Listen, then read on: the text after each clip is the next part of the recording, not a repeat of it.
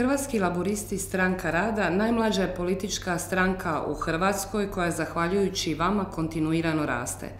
Na ovim izborima želimo potvrditi povjerenje koje dobijamo od građana posljednjih devet mjeseci.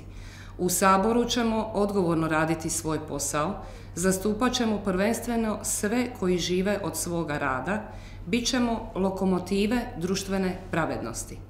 Na izbore izlazimo samostalno, a problemi koji muče vas temelji su našeg političkog programa. Jedini zastupamo radnike, jer rad i radnici su za laburiste najsnažnija karika budućnosti. Uvjereni smo da povjerenje dobijamo jer smo drugačiji, jer iskreno vjerujemo u rad, znanje, poštenje, istinu i društvenu pravednost.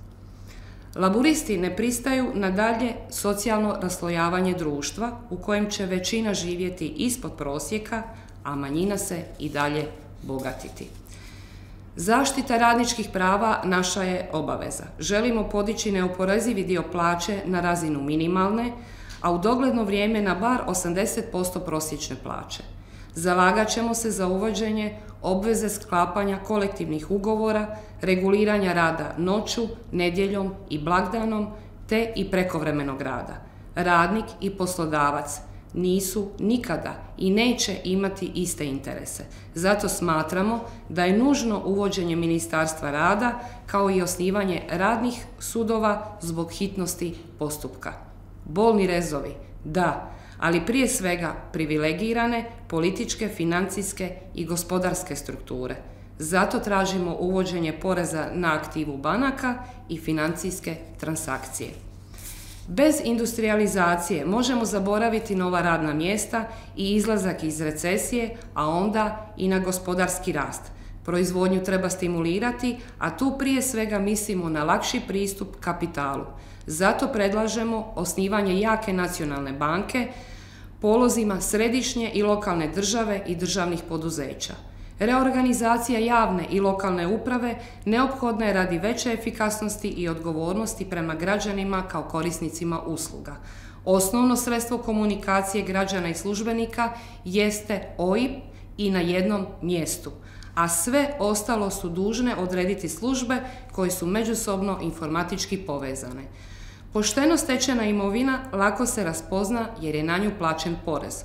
Uloga porezne uprave je da usporedi prihode i imovinu pojedinaca i ako je stečena nelegalno, takvu imovinu je potrebno oduzeti. Antikorupcijsko djelovanje ne može se završiti samo nekoliko zvučnih imena, već mora zahvatiti društvo u svim slojevima.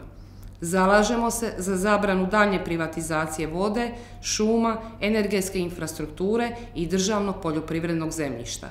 Koncesija da, ali na novo izgrađeno u što je koncesionar uložio svoj novac, a ne da se bogati na onome što smo mi generacijama stvarali.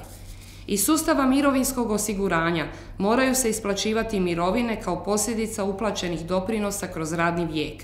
Sve ostale privilegirane mirovine, a njih je 13, moraju se isplaćivati iz općeg proračuna za koje država mora naći izvor financiranja. Želimo prosječnu mirovinu u roku od dvije godine podići na razinu od najmanje 50% prosječne plaće. Plaće dobijamo u kunama i nepojmljivo je da kredite koje smo podigli za golu egzistenciju plaćamo u eurima ili švicarskim francima. Došlo je vrijeme da građani Hrvatske odluče o svojoj budućnosti.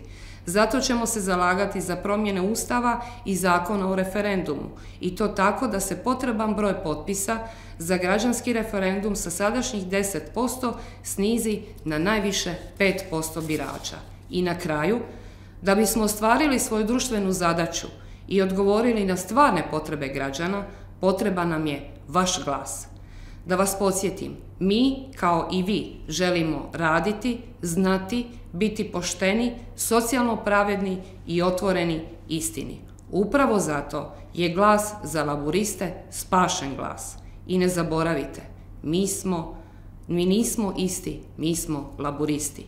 Povjerenje koje nam dajete obavezuje nas i to ćemo dokazati u Hrvatskom saboru. Hvala vam što ste vi odlučili dati glas za laboriste.